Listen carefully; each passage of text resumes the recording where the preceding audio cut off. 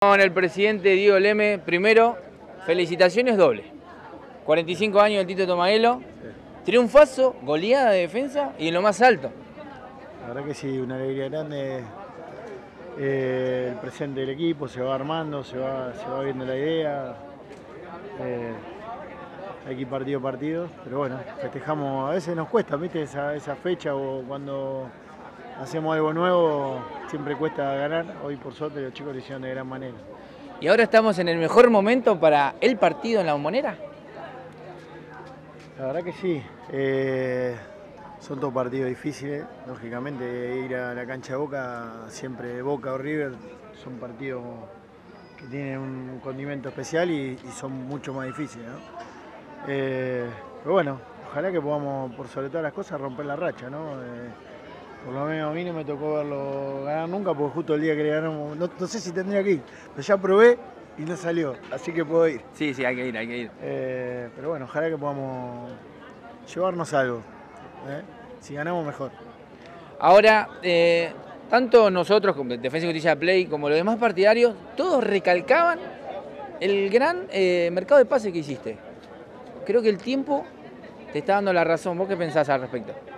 Bueno, eh, la verdad que estamos muy contentos con, con todos los, los jugadores que hemos traído. La verdad que fue un mercado largo, que no, nos dio margen para, para pensar, para buscar.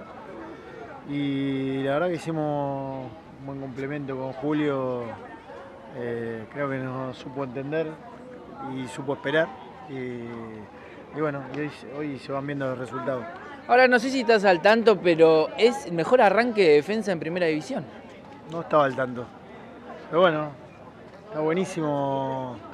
Está buenísimo que, se vaya, más que todo, afianzando porque hay mucho trabajo, hay mucha humildad de lo- del cuerpo técnico, de los jugadores, de toda la gente que, que está atrás de ellos. Eh, hay mucha humildad, mucho trabajo y lógicamente que se den los resultados mucho mejor. Ahora, por lo que te estoy escuchando, eh, hay mucha conformidad con el cuerpo técnico.